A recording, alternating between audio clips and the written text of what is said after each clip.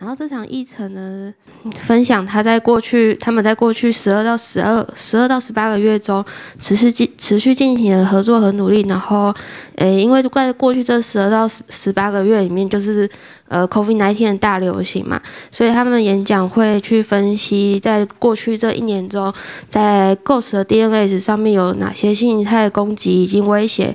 然后最后呢，他们就有与其他呃其他国家的 C 社跟 P 社合作，然后。一起分享这些情资，然后让我们就开始聆听这两位讲者为我们带来的分享。谢谢大家。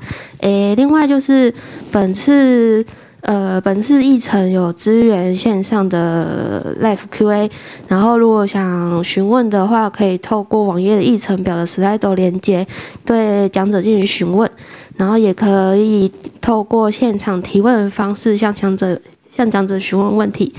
就这样，那我们就开始吧。Good morning, everybody, and, and welcome to our talk entitled Collaborate from Home, the Japanese and UK edition. Um, so, to begin with, I, am going to give you a, a, bit of a background about us as speakers, um, our, our history together, and then what our talk is going to focus on uh, and, and contain. So to begin with, I'm Joshua Hopkins, a threat researcher with Team Cymru, um, and I'm the, the UK element of the the Japan and UK edition. And with me today is, is Manabu, who I'll let him introduce himself. I'm Manabu Niseki, and uh, yeah, I'm Japanese, and I'm an ex-speaker of HitCon. So maybe this is not the first time to meet you. It's a great honor to give a talk at HitCon again. And uh, it's really sad that I cannot reach Taiwan this time.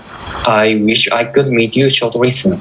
And also, I wish our presentation will be something useful to you.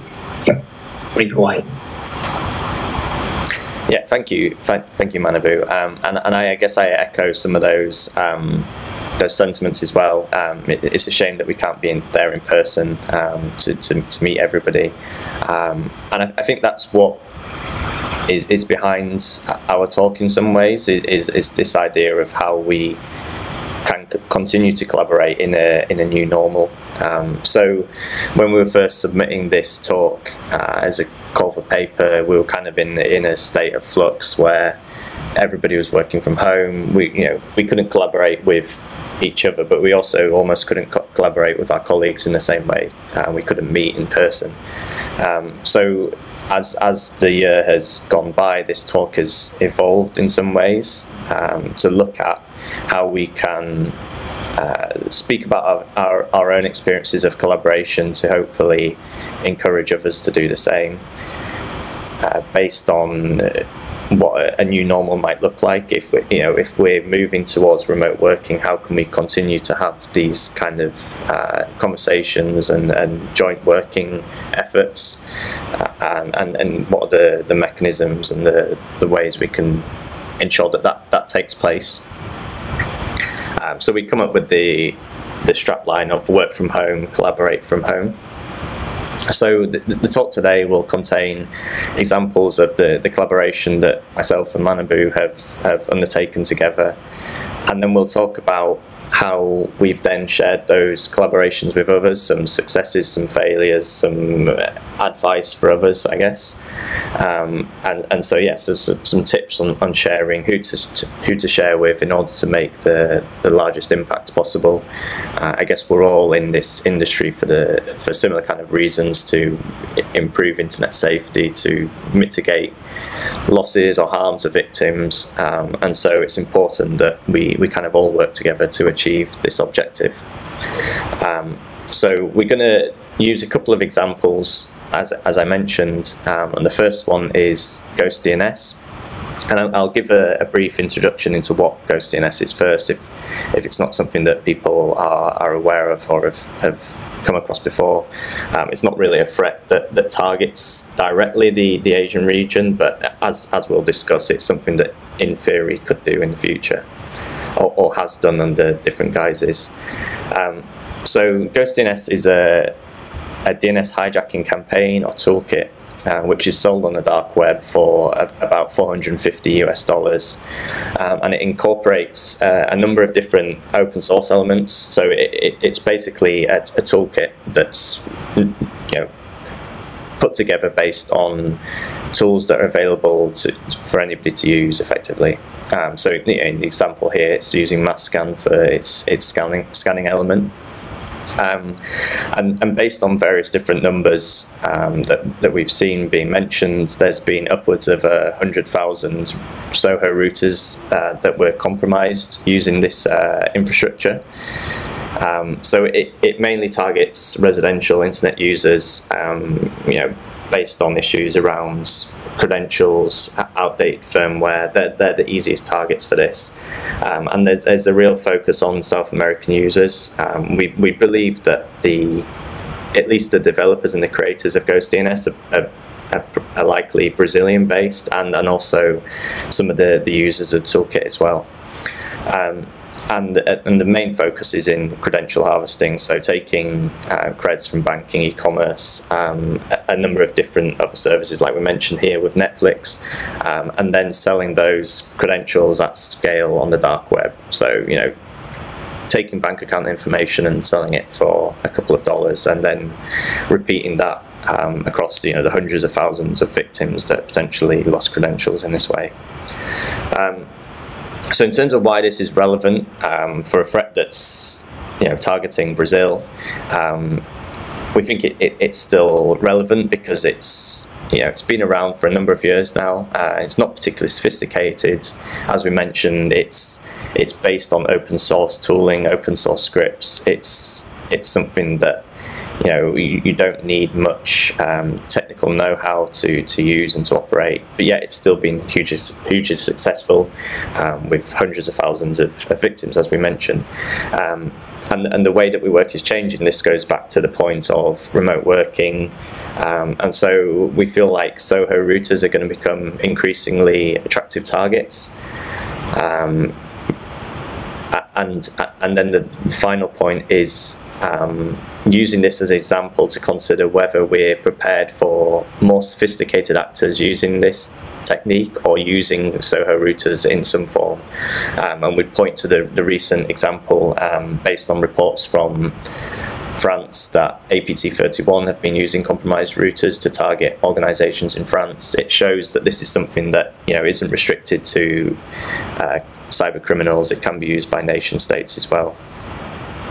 And then also interestingly, um, as we've been tracking uh, Ghost DNS over the past year or so, we've seen a real spike in activity um, beginning uh, last October up until around July of this year. And so we felt like uh, comparing, you know, like for like, month on month, this showed a real uh, clear um, peak in activity that we felt might be related to the actors who were operating Ghost GhostDNS or operating uh, similar exploits. Um, to basically be making the most of the pandemic, knowing that a lot of people were at home using home home computers for, for various different things, uh, and, and, and effectively trying to um, take advantage of that as, as much as possible. Um, so now we're going to talk about how we've then, uh, you know, once we've completed our work together, how we've then shared that or tried to share that with other people. So Manabu first is going to talk about um, some of the, I guess, the failures or the the, the, the less successful um, outcomes that we've had. Okay, let, let me share failures I made relating to Ghost DNS. I shared collected IOCs with CertBR, the National CSIRT of Brazil, through my friend who works at the National CSIRT in Japan. But nothing happened. There is no reply, no reaction from CertBR. Yeah. Please go ahead.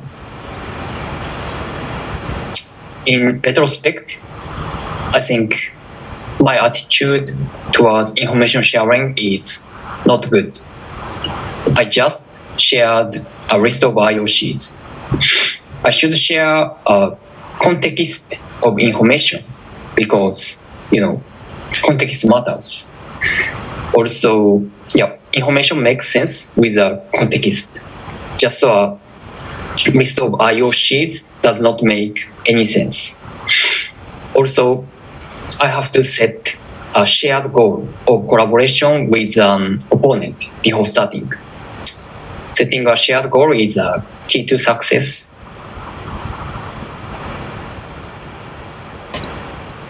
Okay, and, and then now I'm going to talk about um, some of the, the successes, I guess, that we had um, in follow up to that. So, taking uh, Manabu's experiences in, in interfacing with CertBR, um, we, we established some further contacts with them. Um, as, as Manabu mentions, um, talking about context, talking about effectively their objectives in, in tracking Ghost DNS. It's a, a, very interesting subject for them, as you can imagine, with the, the number of victims.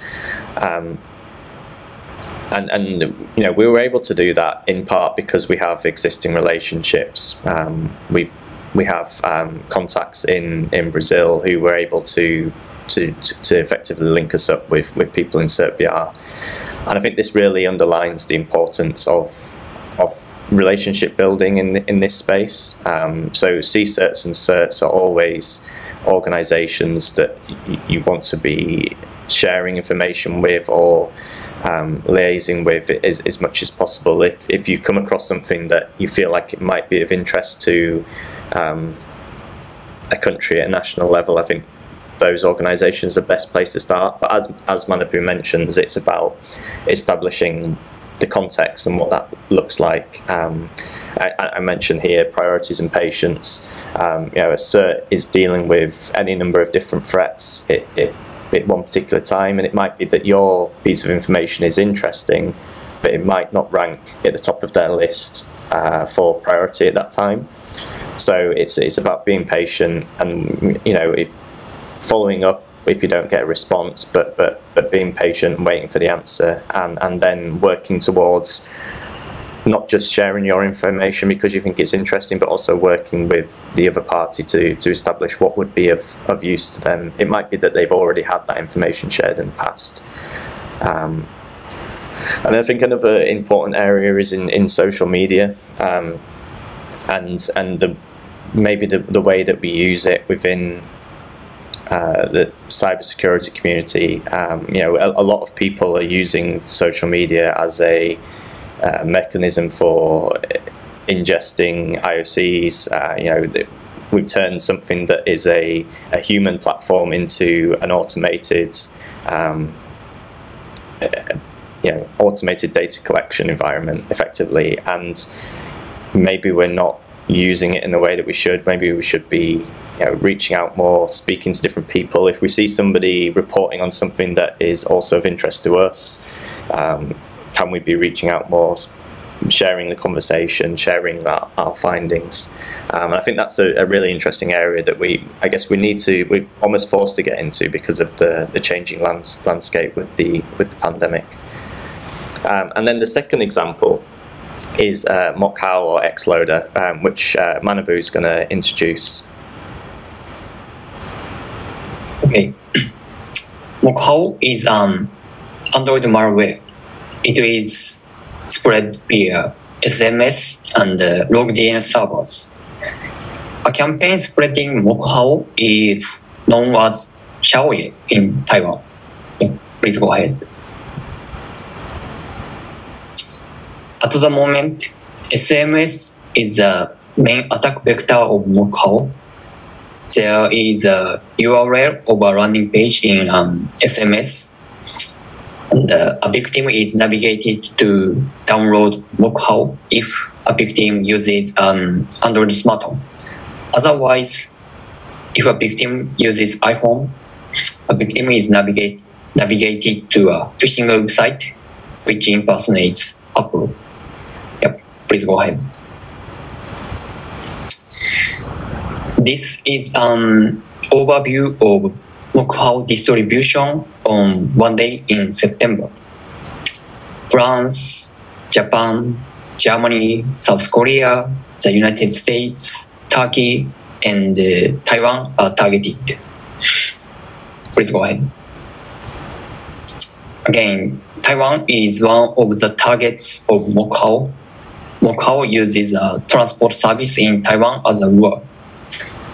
Uh, excuse me, I, I'm not sure how to pronounce it in your language. I mean traditional Chinese, but I can read takkyubin in the in Japanese, and uh, I know it's a it means a transport service. And uh, yeah, please go ahead. And then uh, an- another element of our um, research or tracking of, of MoqHao has been looking at the network telemetry uh, that Team Cymru uh, is able to provide. Um, and, and looking in particular at second stage C2 servers. So at this stage, we, we know that um, a, a potential victim has already downloaded the, the malicious APK, and so this is the follow-up connection um, generated by by the malicious file.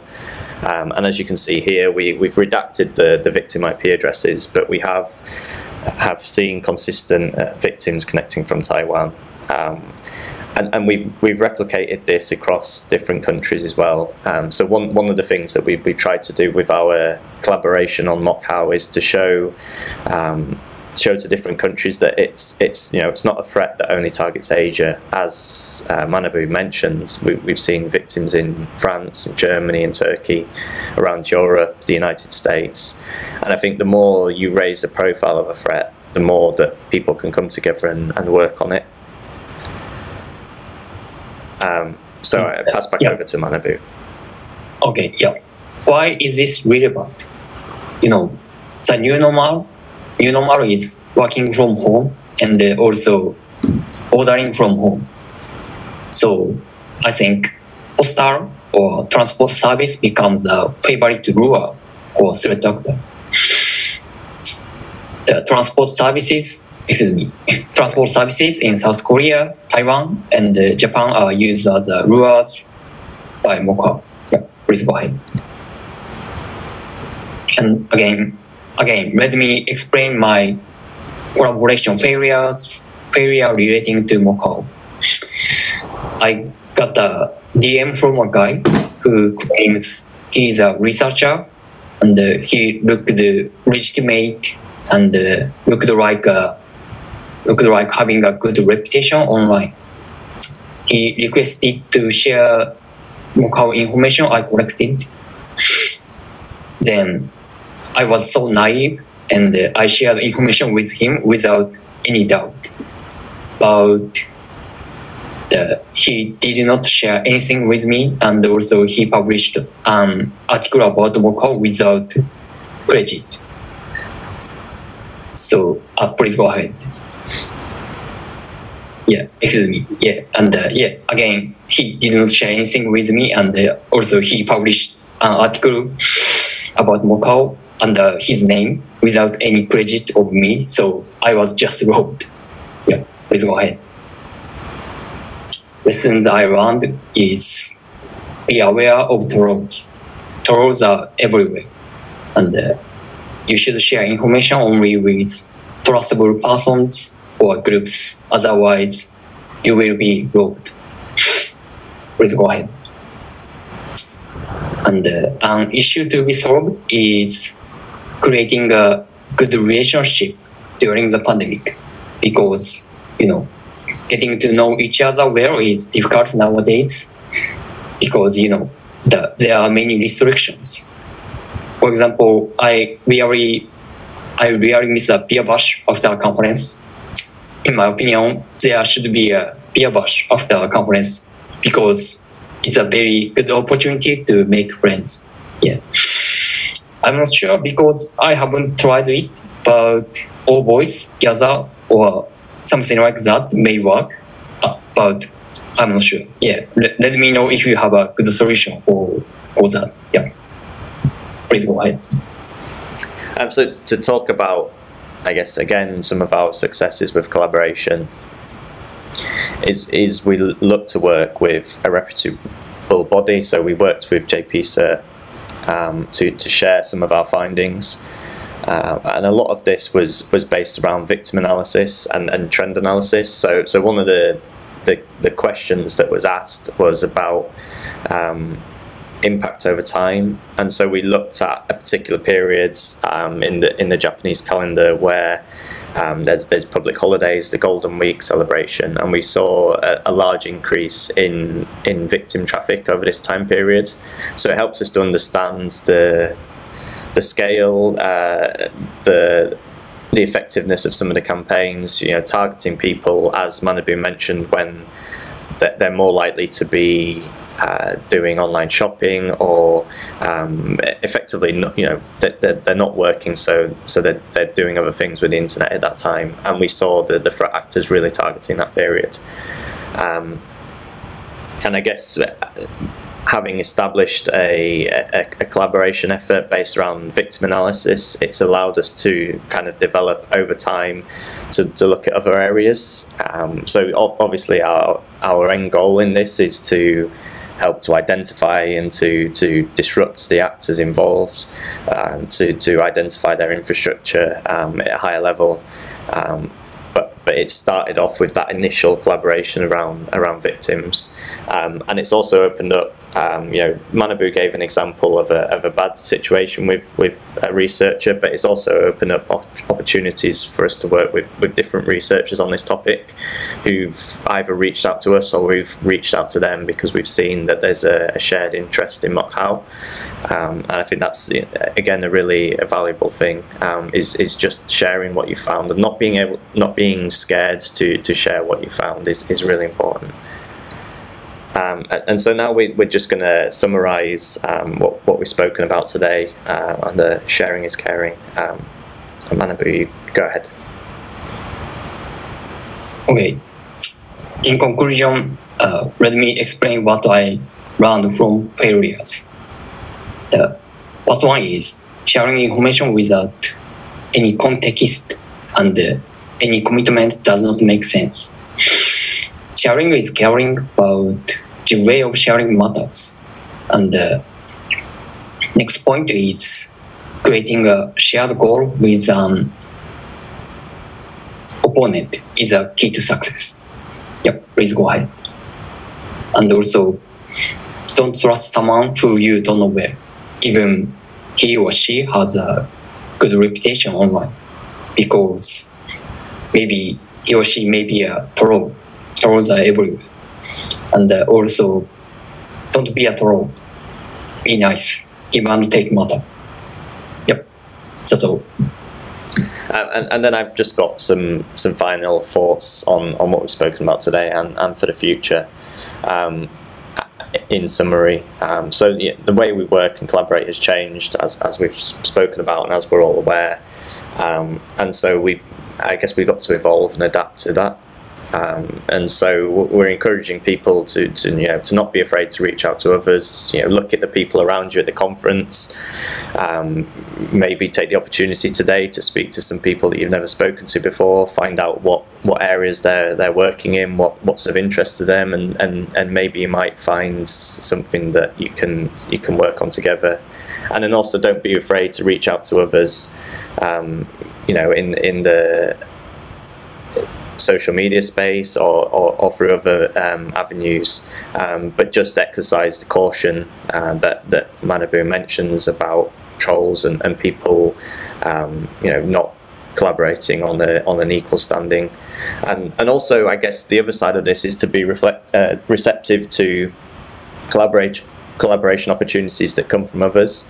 Um, so in the same way that you would like somebody to respond to you, um, you know, if, if somebody reaches out to ask about your research, um, as, as long as it's okay to share it, then I, I would encourage to do that and, and to, to try to work with other people because I think that sometimes we're not aware of um, different thought processes or, or ways of understanding a threat that can be aided by, by speaking to others and by sharing um, sharing what we know. Uh, there's, there's lots of you know groups and, and forums and mailing lists that people are, are, likely to be part of, but I think it's it's always useful and valuable to to be expanding on those um, and, and utilize organizations um, like the, the, the CERT in Taiwan um, or CERTs around the world.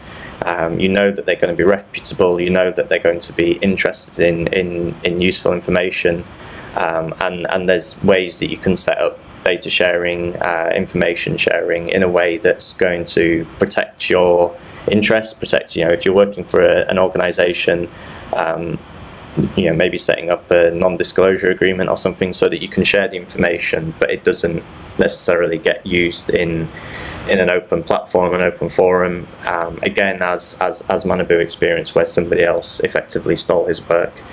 Um, so that that kind of finishes up what we wanted to talk to you all about today. Um, I hope it's it's been useful and, and maybe generated some some ideas, um, and I, I hope that you you go away from this and maybe collaborate with somebody with in a, an area or region that you'd never thought about before. Um, and, and, I think you know working together like that, we can all kind of make a, a larger impact in the world.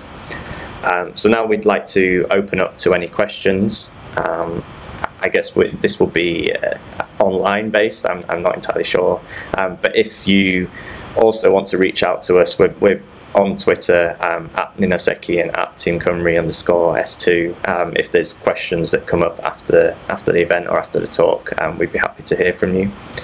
And, and thank you again for the opportunity and, and the honour of speaking today. Um, and hopefully, at an event in the future, we'll be able to meet in person.